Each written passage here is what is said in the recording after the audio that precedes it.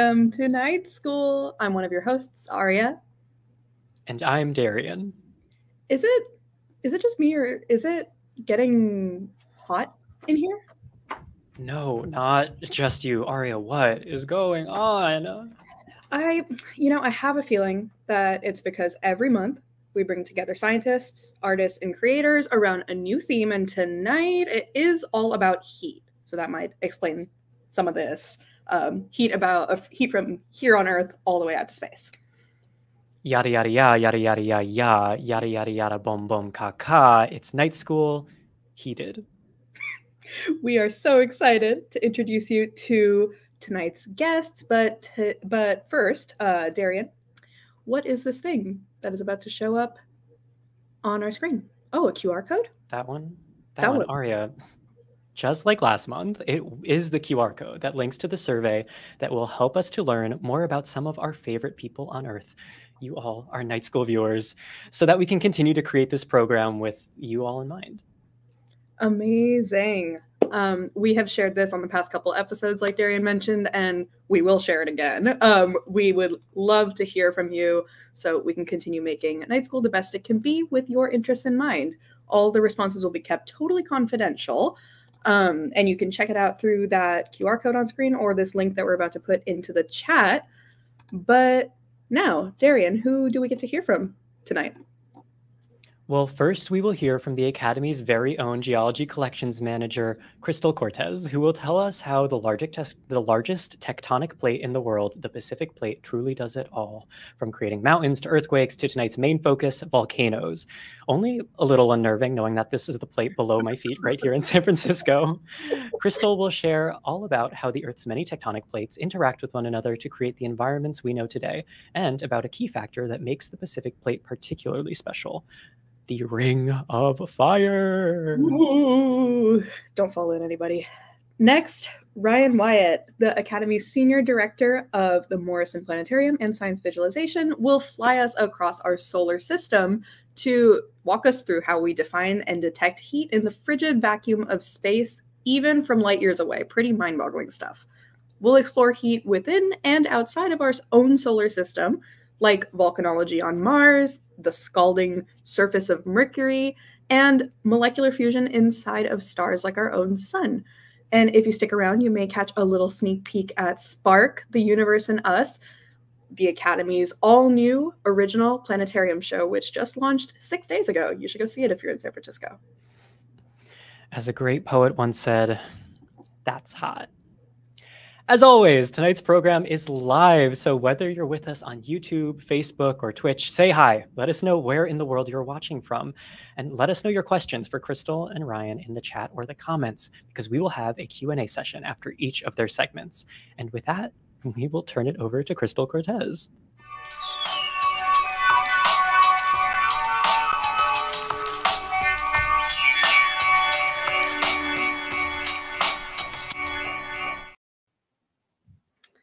Okay, hello everyone. That was such a wonderful introduction. I just want to say um, that is a great poet and it really is hot.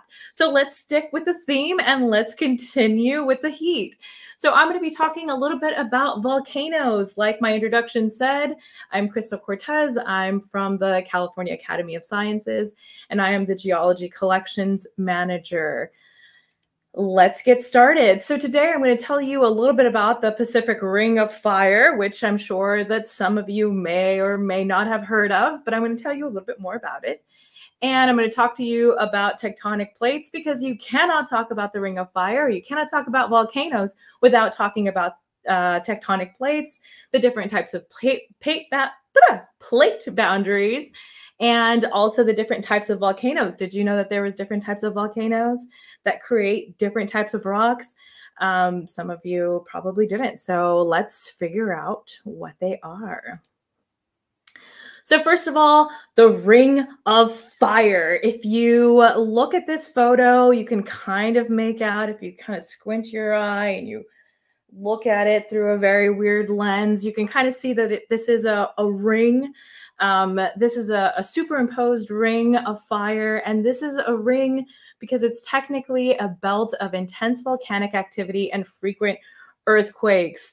We are in San Francisco, so we know earthquakes very well. Even in California, all of California, we know earthquakes very well, and California lies right about there. So you can see why we get a lot of uh, earthquakes, and it's all due to this ring of fire. What is the Ring of Fire? Well, it's home to approximately 75% of the Earth's active volcanoes. Now, I'm just going to pause for a second because think about that 75% of the world's active volcanoes. That is a lot of volcanism happening in a relatively small spot. Um, since we're going to be talking about space a little bit later and you guys are going to be able to hear about it, this is not a very big area. So this is going to be a very, very hot area. And why is it caused?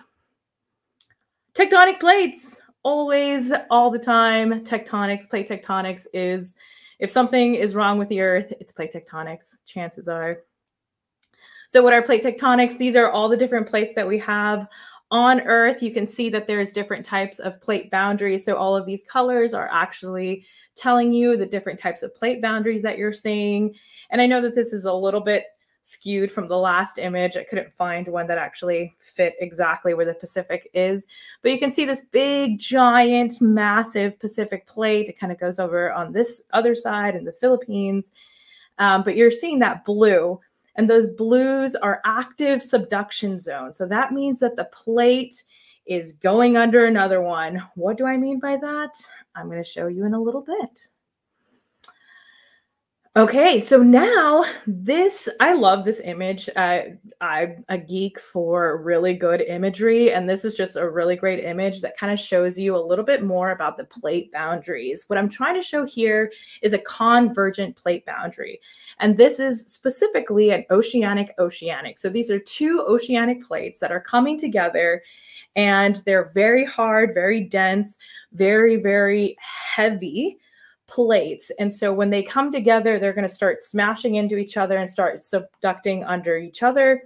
And that is called a convergent plate boundary. Usually, when you have this oceanic oceanic plate boundary, you're going to end up with something called a shield volcano. Keep that in mind because I'm going to talk about those in a little bit. Another type of convergent plate boundary is oceanic continental. You see that there's an oceanic plate and there's a continental plate. A continental plate is actually going to be a lot more buoyant than the oceanic plate. An oceanic plate is very, very dense. Like I said, it's very heavy, so it's going to want to subduct underneath a continental plate. You're never going to see a uh, an oceanic plate go over a continental plate. You do have island accretions where you'll have oceanic plate accrete onto a continental plate, but you're never going to have a continent uh, oceanic plate go on top of a continental plate, and that's because a continental plate is very very buoyant. It doesn't want to sink down. And that buoyancy adds to the silica. So now we're going to get into volcanoes that are going to be a little bit more active. And that's going to be your stratovolcano or your composite cone volcano. Both are technically correct terms, but that's what you're seeing in this area here. There's other types of boundaries. So another type of boundary is a divergent boundary. And a divergent boundary is basically a spreading center. You have two different types of spreading centers. You have one on the sea floor. This is going to be your MORs, your mid-oceanic ridges. Um, I don't know if you've ever Googled it. If you haven't, you should try to Google it. But try to Google uh, just a photo of the sea floor and you'll see all these mountains and hills and volcanoes and and all these these different ridges that are happening and that's all part of the seafloor spreading. And it's basically the seafloor is spreading. There's they're spreading apart.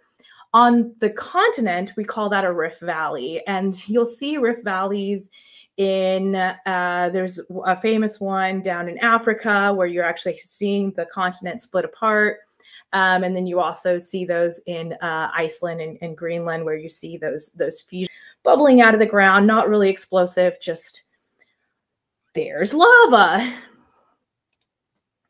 Um, another type that's a little, we're not going to really get into this part because it doesn't really take place in the Ring of Fire. And these are hotspots. Hotspots are basically just areas in the mantle where you have these mantle plumes that are just going to bubble up and they're just going to and they just kind of pop out and then you're going to have these like little volcanoes and those are going to be different types of volcanoes. You'll see that i kind of gave a uh, kind of a, a, little bit of a sneak peek as to what type of volcanoes these boundaries actually create but with hotspots you're just going to have a different type of volcano because it's going to be dependent on the location and i'll tell you a little bit more about that in a little bit this is by far my favorite slide. So I've been talking to you about all these different types of plate boundaries. You have convergent boundaries, you have divergent boundaries, and you also have this one called a transverse um, boundary.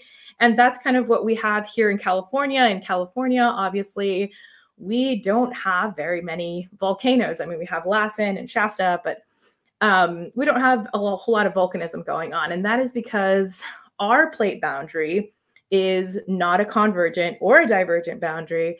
We have a transverse uh, boundary where we have that uh, transform fault that's just kind of uh, sliding up against each other. And when two plates are sliding against each other, you're well, you're going to have a lot of friction and you're going to have a lot of earthquakes. Obviously, if we live in California, we know that we have a lot of earthquakes here. Um, you, so you're going to have a lot of earthquake here, but you're not going to have enough heat being produced to actually create these big volcanoes.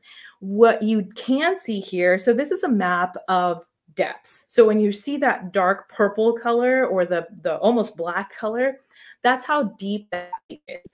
So basically what you're seeing here, so like this is this is Chile here. Um, and and if you think about where Chile is, you have Patagonia, you have all these big mountain ranges, and all those big mountain ranges are created by this plate subducting underneath this other plate and you can really see this plate outlined um, by the by this imagery here. And you can actually see up by like the pacific northwest you have some plates going underneath but they're not really that deep. You only get into like the orange maybe maybe reddish um, color there but um, if you go over here to Indonesia, you can see like right around where the Indonesian islands are, it is it is pretty much black, and that is because that plate is really deep and it's causing some major trouble over there. And um, I know that we all heard about the tsunami that happened, and that's all due to the active plate boundary. That's movement of the plates. That's releasing energy. Anytime you're moving something, you're going to start releasing energy and this is what's going to happen. And this is a beautiful image because it really does show you how plates are moving and how plates are subducting under one another. Um, in Africa, here's that Rift Valley that I was talking about um, earlier, where you're seeing that that that split, and then you see a little bit of volcanism, and you see a little bit of that plate boundary being subducted underneath there.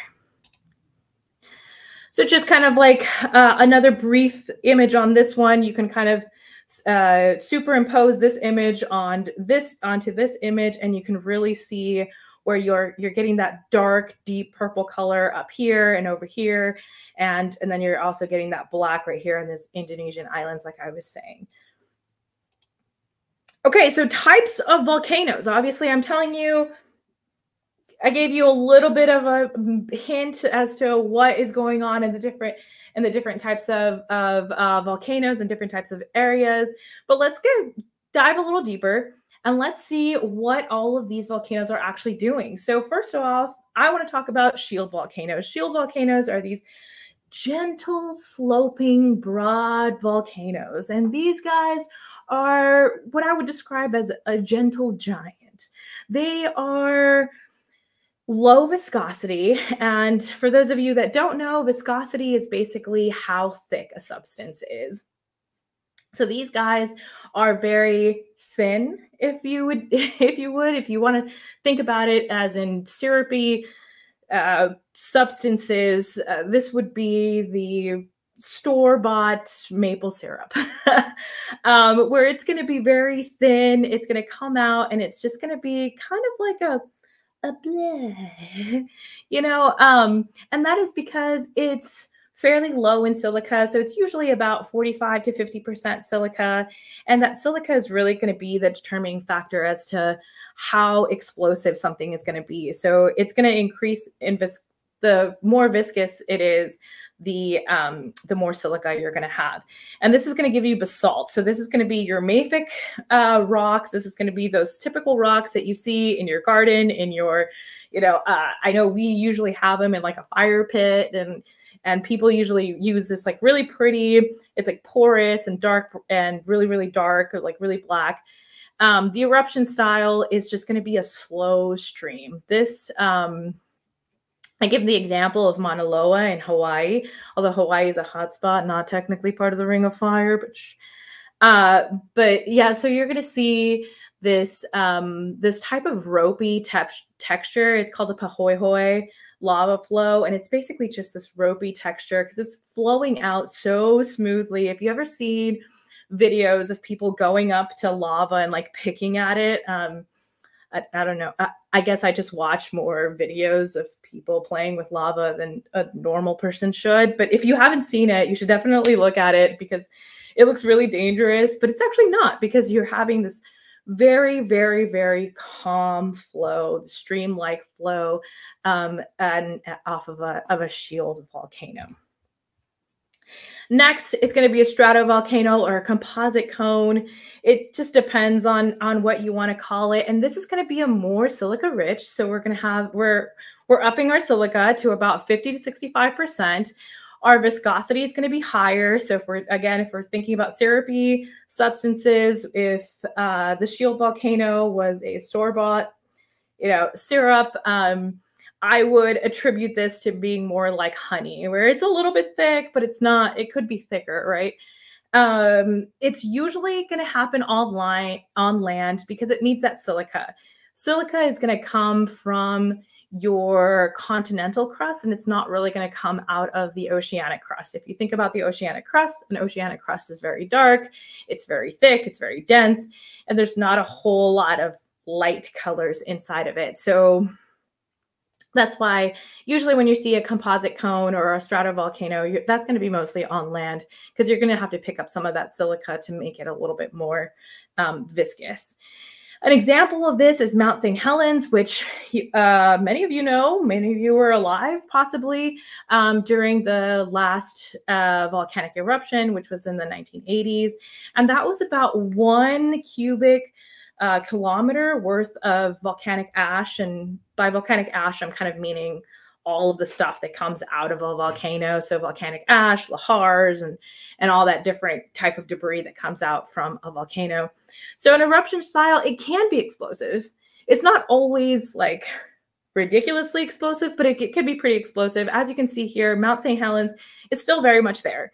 Um, there's a big there's a big hole in it that of of where it loaded and that's because it kind of act a plug. Again you're talking about viscosity. This is something that was a little bit thick. Kind of think about it whenever i don't know if you've ever gotten honey and there's like a little honey plug at the top and you're just trying to get the honey out and you just kind of squeeze it a little bit and then it pops out and then so it just makes a little pop and then it's it's done. Um, and so that's kind of what you think about of a uh, composite stratovolcano. And these are very common along the ring of fire this is something that's not around the Ring of Fire, but I knew I had to add it because somebody would ask. And this is a caldera or a super volcano. A super volcano is described as being very silica rich. Uh, most of that rock is going to be rhyolite. So this is an example of rhyolite. You can see that that's pink, almost white. What's going on here? Why is it white? Why is it pink? It shouldn't be that color, especially if it's coming out of a volcano we're used to seeing black like the basalts, but no, this is actually going to be very much lighter. Um, and that is because of the high silica content. It's always on a continental crust because it's going to need to pick up again that silica off that continental crust. This is a very, very explosive reaction. you don't want to be anywhere near this thing if it blows. Um, an example of this is Mount Mazama, which is Crater Lake. Many, many of you guys know it as Crater Lake, um, but it was a mountain once. It was called Mount Mazama. Uh, and that exploded about 7,700 uh, years ago, not even million years ago, sorry. Um, but 7,700 uh, years ago. And that was about 75 cubic kilometers of, of debris. So if we're thinking about Mount St. Helens and how much debris that had, that had one. this one had 75. So obviously that's an exponential growth on how much you're actually getting for this giant volcanic eruption. And this is the caldera that's left. So if you go, if you've ever been to, to Crater Lake, um, which is not too far from us here in San Francisco, it's going to be this big crater. It's created this lake. And it's basically what happens is that there's this big cave in and then it just kind of erupts and it just lets go. It lets go all of this different energy. And again it's because of that silica. It's always because of the silica. I don't know if you've noticed that there's a trend here but there's that silica that silica plug just creates a plug in the top. And what's going to happen to that plug? It's going to explode. And because i knew that somebody was going to ask yellowstone right? When we're talking about super volcanoes if we're going to talk about volcanoes you have to bring up Yellowstone. Um, and so I did put in a slide of Yellowstone. You have the Yellowstone caldera. The last explosion was about 2 million years ago. And the amount of ash that came out of that was about 2,500 cubic kilometers. And if we think about it, Mount St. Helens was one.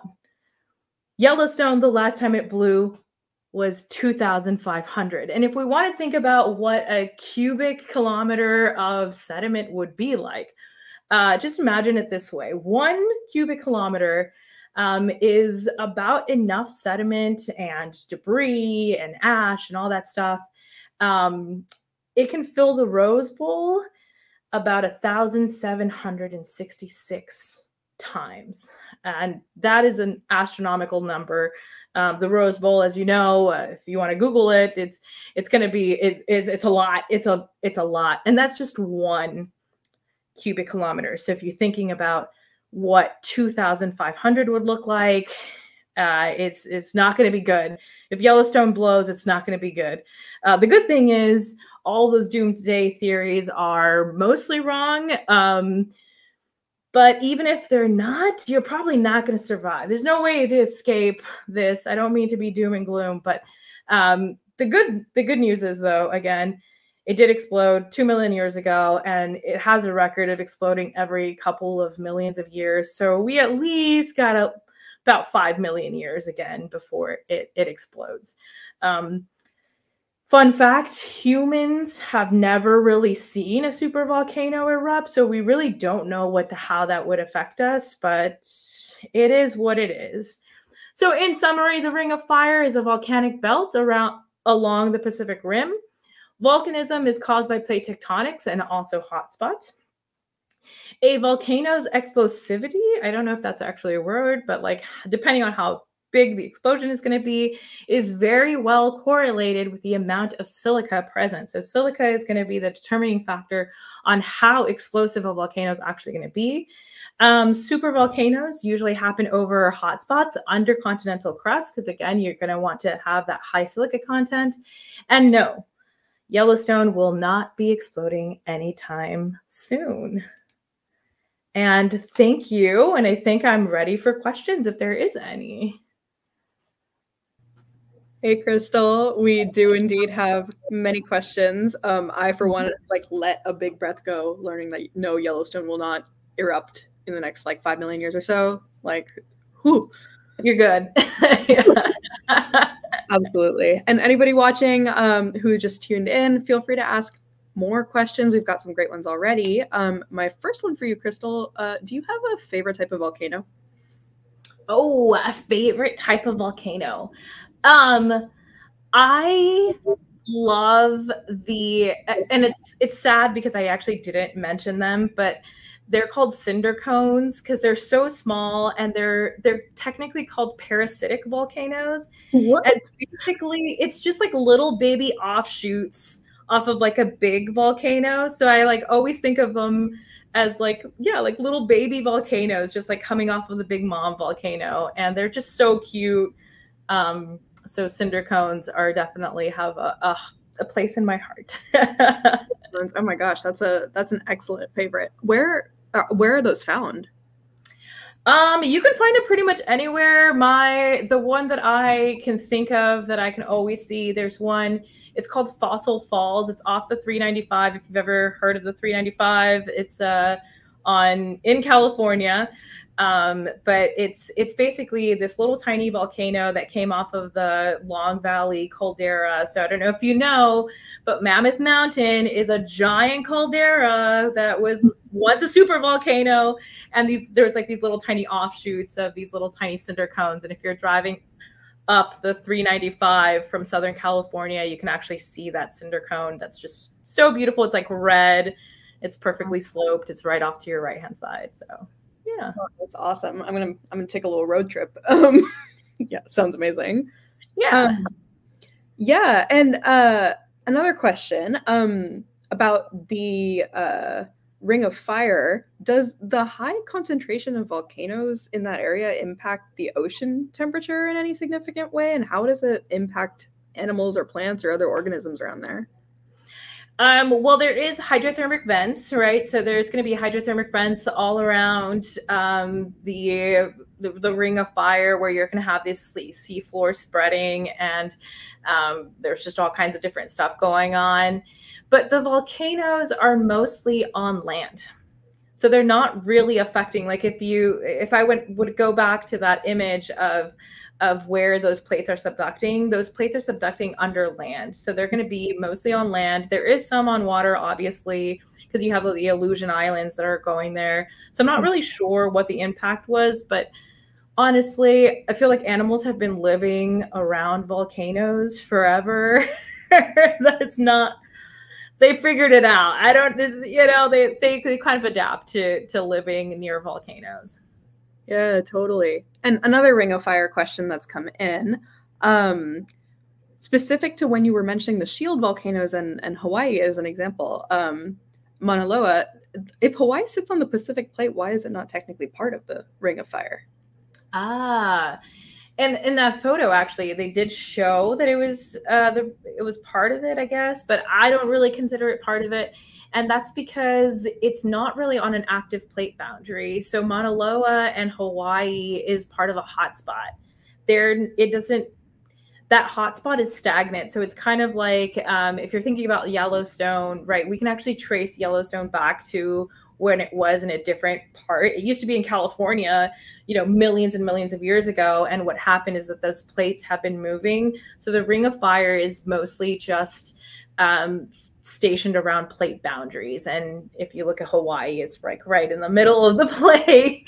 so, and then Hawaii, and obviously, like the Hawaiian Islands, all the Hawaiian Islands were created by the same mantle plume. And what's happening is that the plate is going over it. And that's why you have all these like string of islands over this mantle plume. But it's actually like um, chemically, it's the exact same type of magma because it's coming from the exact same thing. So it's they're all the Hawaiian Islands uh, are technically clones of of each other. Yeah. it's a weird way to look about it, but yeah. Yeah, no, that's cool. That's really cool. Um, yeah. Yeah, and uh, we have another question that's come in. What do you know about the volcanic Siberian traps that caused the Permian extinction? And what is a trap? I don't know what a trap is. So, what is a trap? This is a, this is a great question, actually, um, and I should know a lot about this. So the Siberian traps, um, there is like this huge. So traps, I actually don't know the definition of a trap, but it was basically just like this huge volcanic activity that happened. Um, it happened around the PT boundary. I don't know if they've definitively, and by they I mean scientists that study that exact same that that boundary um, have determined if that was the exact cause of of the PT boundary mass extinction. So the PT boundary mass extinction, uh, 97% of of life on Earth was wiped off. Everything was dead, and everything died, and yada yada yada. Um, and I actually did do a study on the recovery after um, the mass extinction, the PT mass extinction. Um, and I really don't know. I was looking at maybe like some ocean acidity would have. I mean, if you think about it, if you have a lot of volcanism, it's going to put a lot of ash into the air. It's going to cover the sun. Plants are going to die. It's going to create pretty much uh, acid rain. So you're going to your oceans are going to get really acidic. I don't know again if that's the exact cause of the PT boundary uh, mass extinction, but it had a definite effect on on what would have happened because you would have just gotten acid ocean and acid rain pretty much everywhere and and no sun so everything would die that's gnarly but that's life that's life on earth right like but that had to happen in order for us to be here so thank you to all of our prehistoric ancestors that had to go in the pre in the PT boundary for us to survive. Yeah. Oh my gosh. And speaking of prehistoric ancestors, um, can you tell us a little bit more about your journey in geology and um, what you love to study? we just heard about this a little bit before, so I'm like, that's tricky. That's tricky. Um, so my my uh, my big thing is actually going out and into the Mojave Desert, and I worked out in the Mojave Desert a lot. And I was looking at, at trilobites out there, and, and I also did uh, Fossil Falls, where there was that cinder cone, and that we were talking about. So I can write a whole thing for you if you if you need a field guide. If you ever want to go down south, I, I got you. Um, but uh, my geology background is much more in paleontology, and I uh, I really study more neogene shark assemblages. I did it for my undergrad and my master's, and I still dabble about it. And and hopefully there should be some stuff soon. But I didn't say anything. um, I did find some some sharks material here at uh, the academy, and and it's it's really interesting and really fun stuff. So um, sharks sharks I, I, I love sharks and i love how how diverse they are and how they've changed through time and how much more of an understanding we have of them we only had shark teeth for so long and now um, we're really realizing how diverse they are and and and that they have different types of teeth in their mouth so things that we thought were different are actually the same thing so how do you correlate all that so it's fun yeah, that's amazing. And one final question for you. Um, can you like tell us a little bit more about your like what inspired you to get into paleontology and geology? Like what what really sparked that for you? Oh man, I wish darn it, I wish I had the picture. I have it on my office. Um but uh, this is going to be really cheesy, and I can't believe I'm saying this, and and this is being recorded. So, uh, but really, what happened was I took a geology course, and it was an AP geology course in high school. And they took us out to the Mojave Desert. It was the first time I ever went camping. It was the first time I ever went hiking. I never knew any of this stuff because I'm Hispanic and we don't really go outside that way. so it was like it was it was my first time and we were out in the Mojave Desert and and we're looking for trilobites and my teacher's like, "Oh yeah, well if you're looking for trilobites this is what's going to be." And at the time I was in like this really like road trip. I was like, "Do I want to go in geology or do I want to go in in biology route?" Um, my brother's a veterinary technician, so I was like, "Do I want to follow him? Do I want to go on my own route?" And so I went out there. I was looking for fossils. I didn't find any. I was very bummed out. Everybody was finding stuff. And so I finally went up to my professor and I was like, oh, I can't find anything. All I can find is these squiggly lines. and embarrassingly enough, he was like, that's a fossil. You're holding a trilobite. And I was like, oh, I don't know if this means I should be a paleontologist or if I should be a paleontologist. so here we are. Maybe the answer was yes. Yeah, absolutely. No, I mean, I was like, I, I guess I found them. So yeah. Oh, that's great. That's such a great story. Um, thanks so much for sharing with us uh, both about about your story as well as about volcanoes and um, all of the things. So yeah, really appreciated you having you on tonight. Absolutely, absolutely. Thank you, thank you for having me. And if anybody needs to get me, you guys know my my stuff. I'm at the academy. You'll find me. Heck yeah! Great. Well, All right. Then we're gonna go ahead and bring up Ryan to talk about space. Okay. All right. Have fun.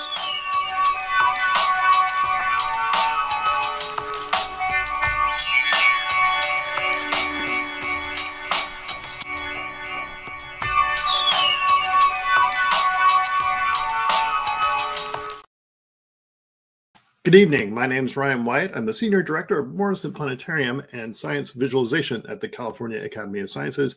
And it's my job to take you now away from Earth and out into space to think about what temperature and heat means in the universe at large. Now, as a starting point, maybe it does make sense to go ahead and start at Earth before we head out to other places. And to do that, I'm going to be using OpenSpace software. This is software that's being developed in collaboration with NASA. And I want to thank Dan Tell, Manager of Planetarium Programs, for being my pilot this evening so I can focus on just talking to you and I don't have to fly and talk at the same time, which is always a little dangerous. So we'll start at Earth. And what's great about our planet is that immediately you have the context that you've already heard about with volcanism and with the activity that keeps our, Earth, our planet warm. But I want to start with the obvious thing, and that's looking at Earth. And right now, we're sort of seeing the daytime side of Earth. And when we think about temperature in terms of the way we experience it on our planet, we're really often thinking about what's happening on the surface of the planet.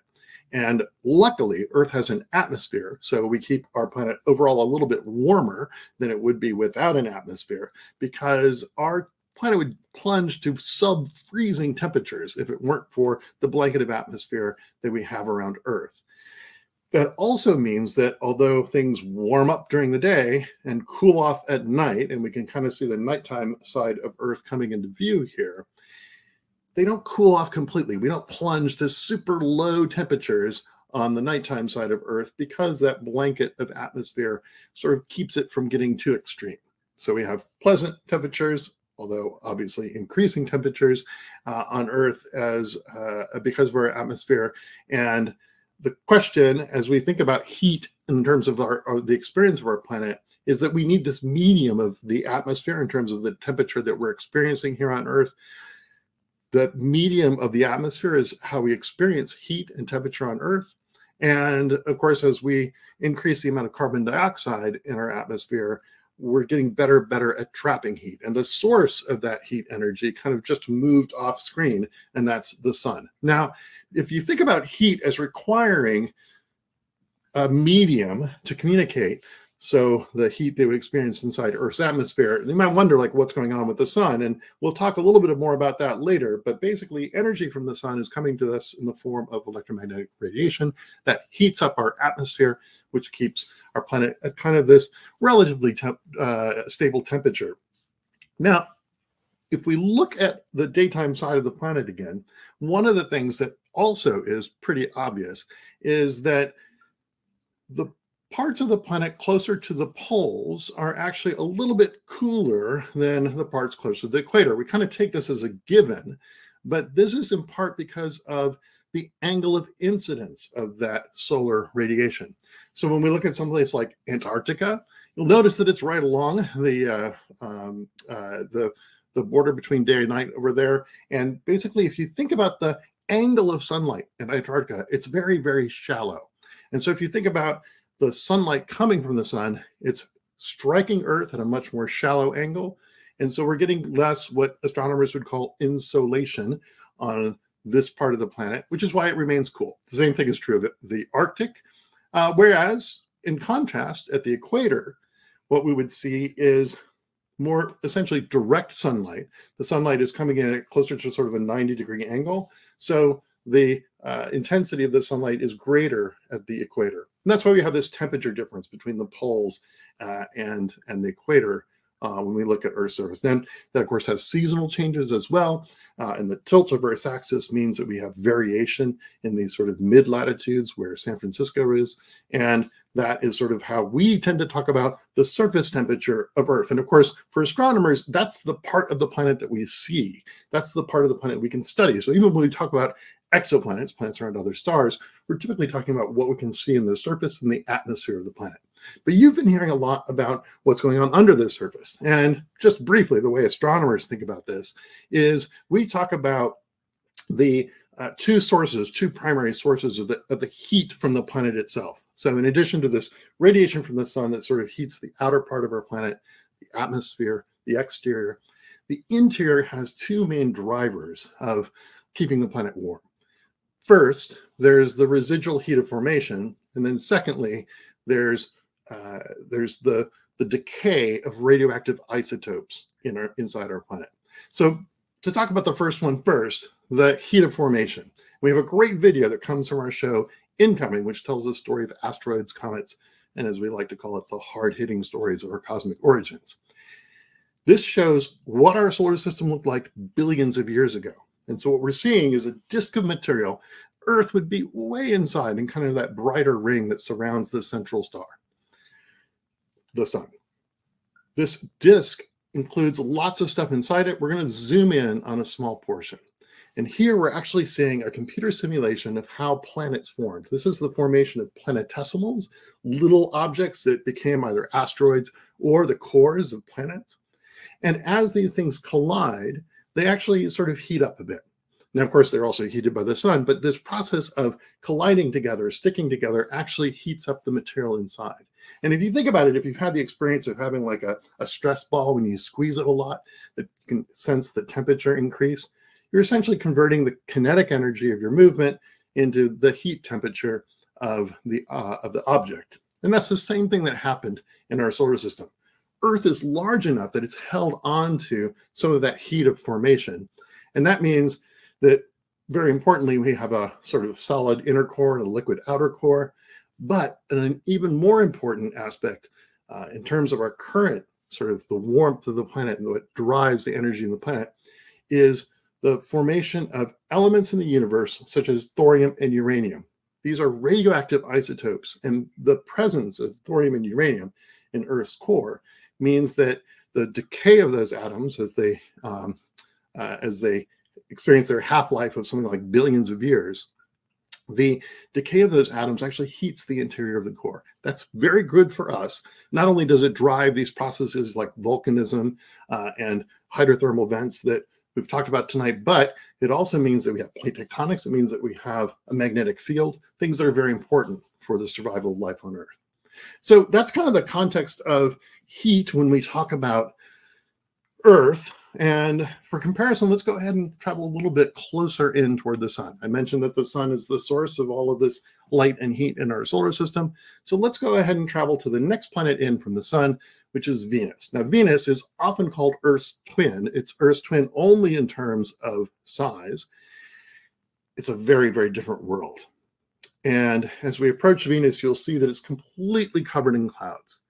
That cloud cover very different from the sort of spotty clouds of Earth. Instead of seeing the oceans and ice caps that we saw on Earth, we just sort of see this uniform, sort of cloudy cover. This is a blanket, a very thick blanket of atmosphere that covers Venus and actually drives temperatures on the surface to around uh, 900 degrees Fahrenheit. So part of that is because Venus is closer to the sun, but that greenhouse effect that I mentioned briefly, but I don't think referred to as greenhouse effect when we were at Earth, that effect of the atmosphere keeping the planet warm is of kind of an overdrive at Venus. And this was sort of a first warning sign that uh, astronomers and people who looked at planetary atmospheres saw when they looked at Venus and saw the quantity of carbon dioxide that was in the atmosphere. They realized that this was helping to drive the kind of superheated surface of the planet. And in fact, the same computational models that were used to understand what's happening on Venus and what's happening at Mars were the computational models that were used to study Earth's atmosphere and the sort of ancestors of the computational models that we use today to think about how climate will change on our planet. So now that we're close into Venus and we can see this, this atmosphere covered world, let's go ahead and uh, zoom in a little closer. And since we've talked about volcanoes already this evening, let's visit a volcano on Venus. To do that, we'll sort of artificially strip away uh, the atmosphere so we can see what the surface looks like underneath. Using different wavelengths of light, we've been able to peer through those thick clouds and this sort of uh, overall kind of crumpled texture that we see here is mostly a radar map of Venus. So looking at what portions of the planet are sort of more rough and and and less reflective of uh, and more reflective of, of radar, uh, and what areas are smoother. We're coming in at Ma'at Mons, which is a site of volcanism in Venus's past. We know that Venus has probably more volcanoes than any other place in the solar system, but most of them are apparently extinct we can tell that the surface of the planet has been sort of resurfaced. It's relatively fresh. So we know that these volcanoes have been active in the past, but we don't see much activity today. So Venus is this extraordinarily different world from Earth, very similar in size, a little bit smaller, closer into the sun, but radically different from the way uh, from from our own home planet Earth, and not a planet that's particularly hospitable to life. And in terms of heat in the solar system, this is the record record breaking planet. It is the hottest planet in the solar system. If we go ahead and leave uh, uh, Venus behind, let's go ahead and take a look at the closest planet into the sun, uh, and that's our planet Mercury. Now, Mercury is very close into the sun, um, about uh, a quarter of the distance from um, uh, the Earth, of Earth's distance from the sun it receives a lot of that heat, light and heat from the sun.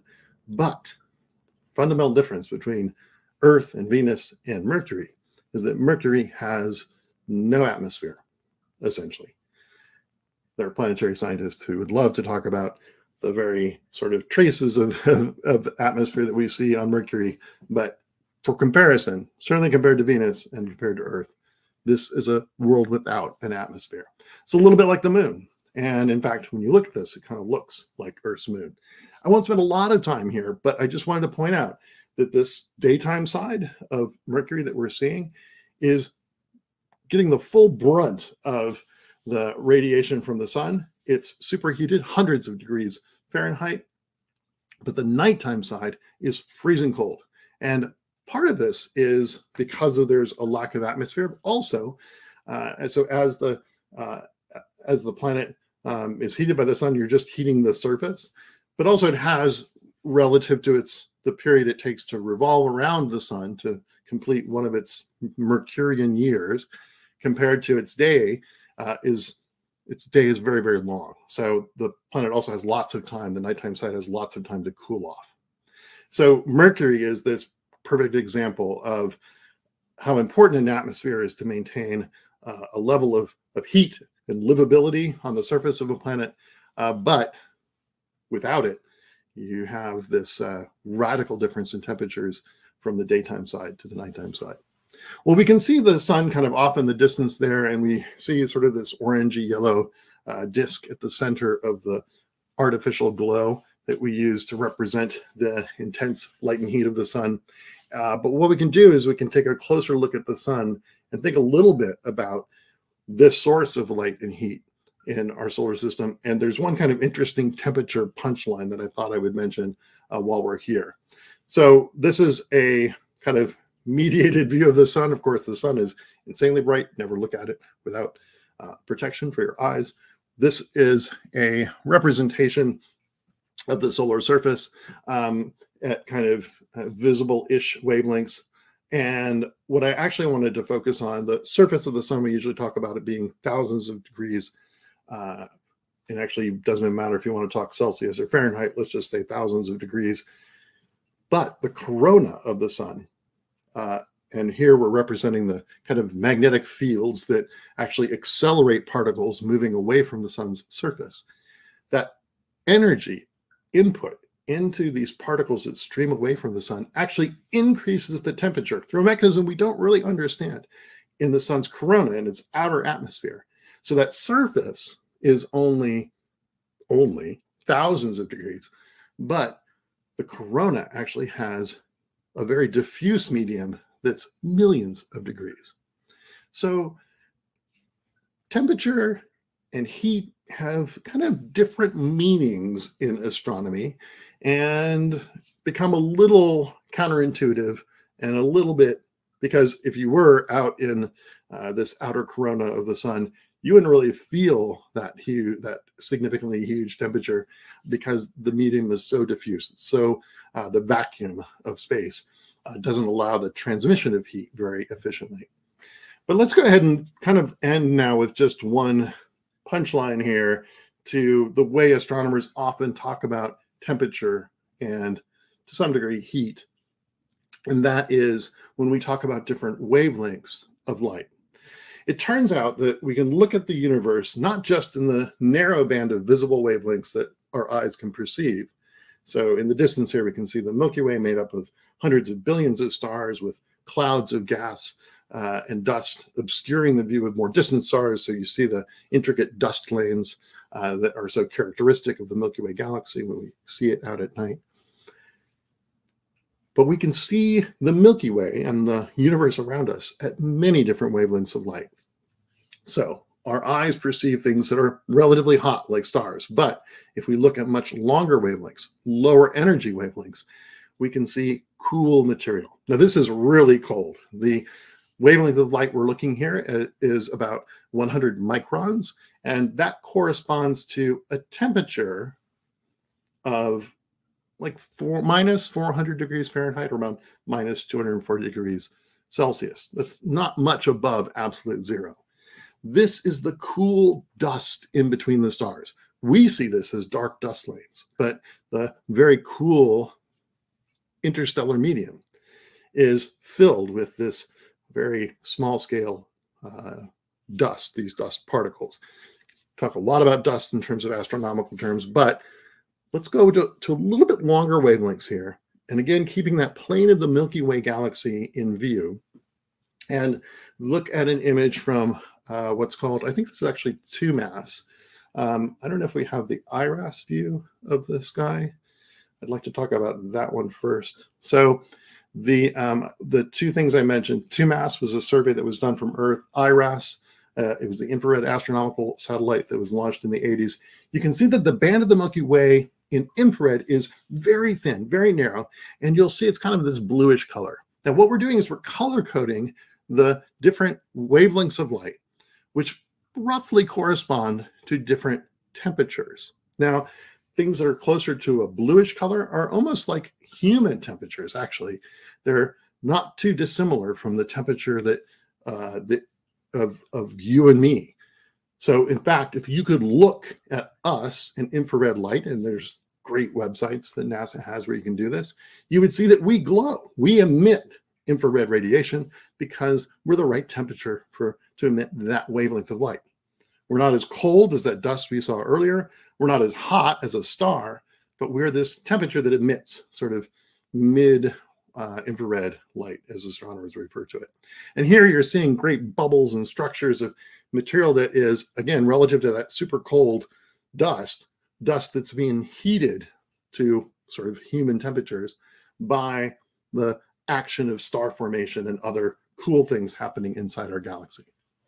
If we go to the next image, uh, 2MASS is a survey that was done from Earth, as I mentioned, that sees now here you can almost see the the band of the Milky Way disappears. We're kind of looking away from the center of the Milky Way.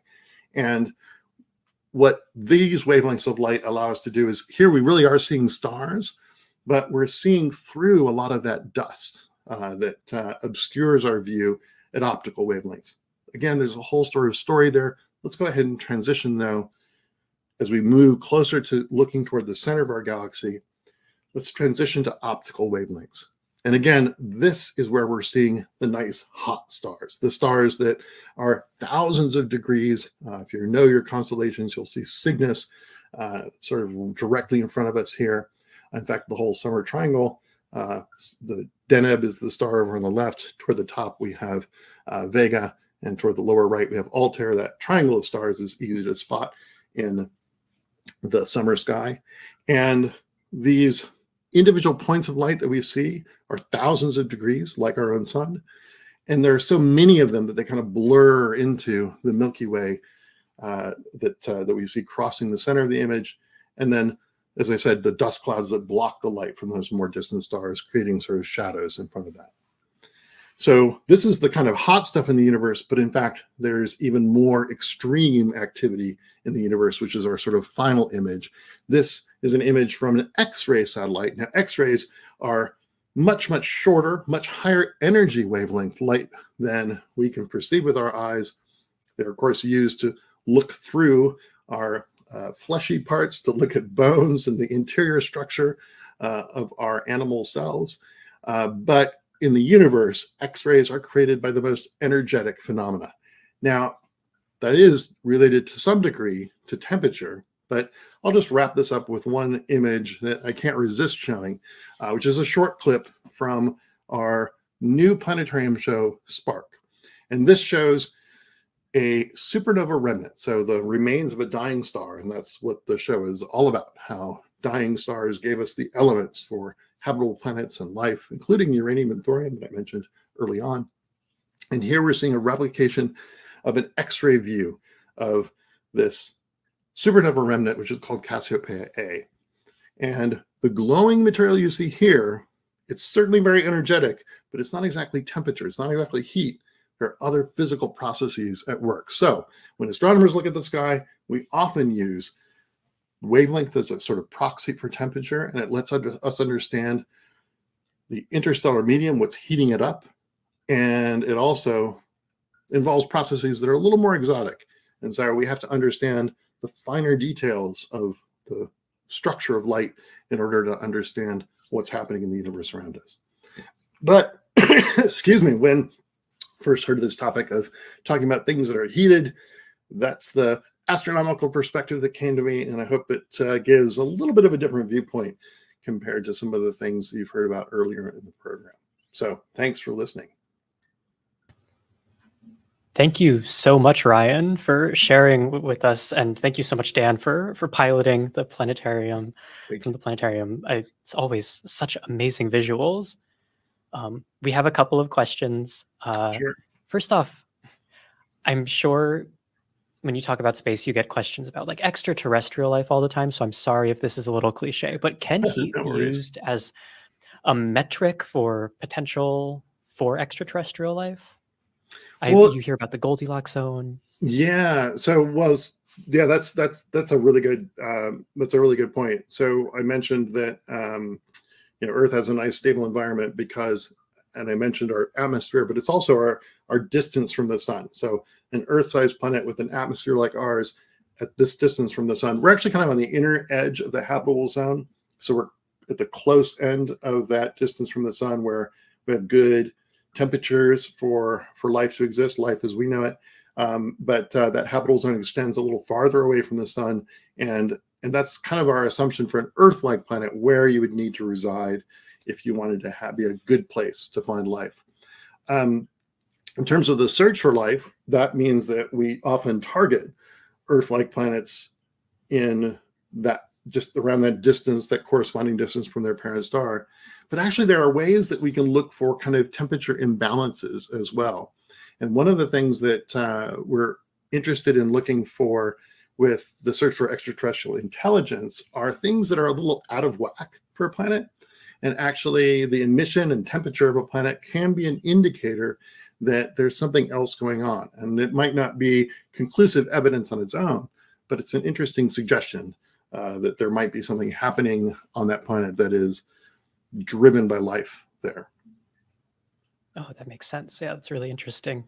Um, when you're talking about wavelengths of light and heat, uh, can you tell us a little bit more about heat and light are related? I know from sure. my personal experience, it seems like not everything that emits heat emits light. Is that true?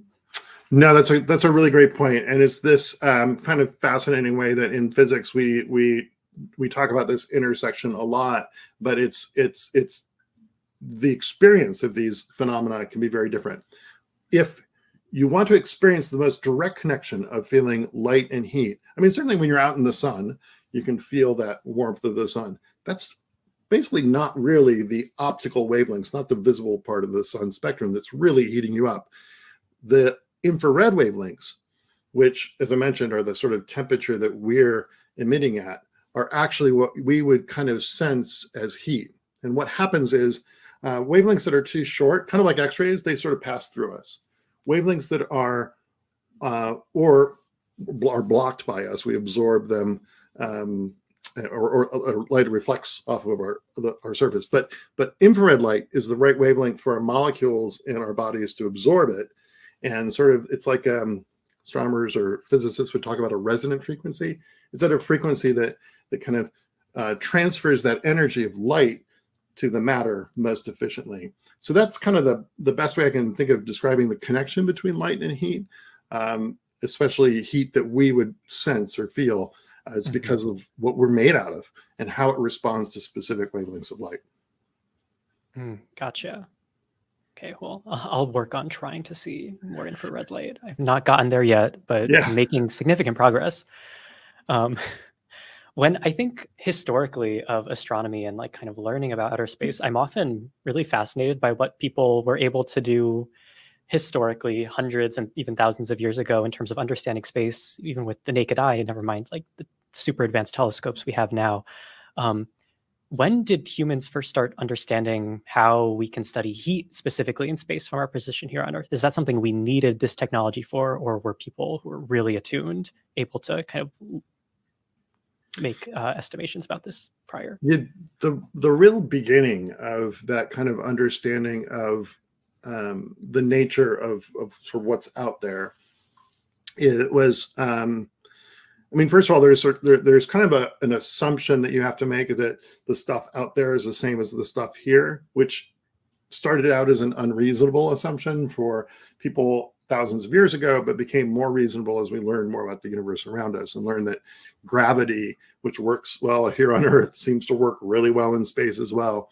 And then by extension, then we tried to understand whether the other laws of physics that are familiar here work in space. So there's kind of this buildup from I would say sort of the 17th century onward, beginning with gravity and our understanding gravity, and then extending to particularly electromagnetic radiation, of which visible light is, is one form, and infrared light and that kind of idea of heat is connected to.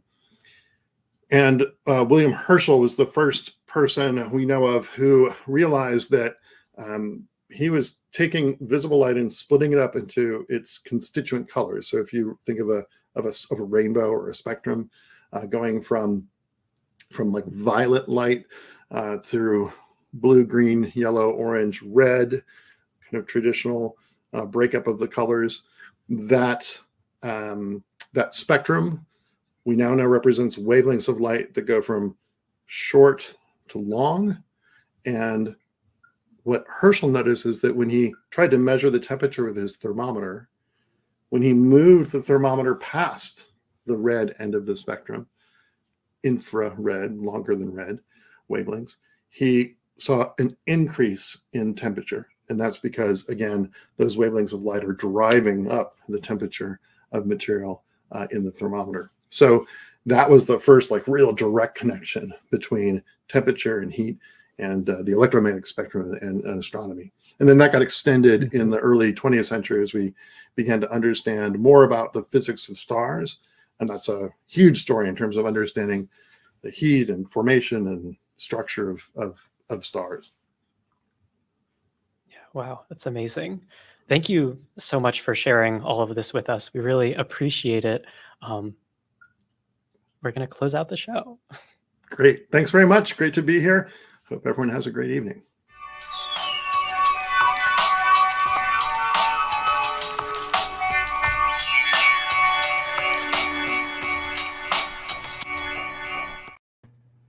Thank you so much, Crystal and Ryan, for sharing with us tonight. It has been an absolute delight. And despite the scalding nature of these topics, I am thankfully less sweaty than I thought I would be. Um, pretty cool. It's amazing to not be super sweaty. Yeah. We are live the third Thursday of every month, which means that we will be back for one more time in 2023, this calendar year on December 21st. And um, this one is for everyone who told us in the forum that they love the ocean, because this episode is going to be all about the life that thrives in the expansive, breathtaking, some may say scary ecosystem that is the pelagic zone, aka the open ocean. Mm-hmm. Hello, thalassophobia. Until we return to explore the open ocean, you can subscribe to our YouTube channel, the California Academy of Sciences, so you'll know when we're live. You can find every other night school episode ever aired over there, quite literally hours of incredible perspectives from scientists, artists, and more for free anytime, anywhere. And if you'd like, once again, here is the QR code and a link that is in the chat currently that leads to the survey that will help us to continue making night school with all of you in mind, uh, regulars and newcomers alike. We'd love it if you took a second to fill it out. Uh, for those of you who have already filled it out and suggested ideas for upcoming episodes, like we listen. It's the next one. It's about the open ocean. So if you have something you'd like to see, please let us know. Mm-hmm, absolutely. Thanks again for joining us. Have a great rest of the night. We'll see you next month. See ya. Bye.